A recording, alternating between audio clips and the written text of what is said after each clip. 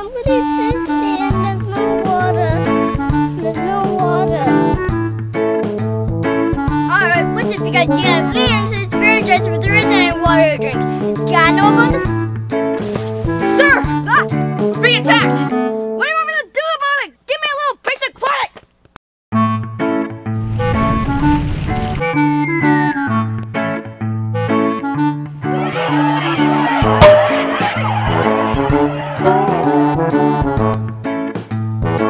Stealing any privacy around here!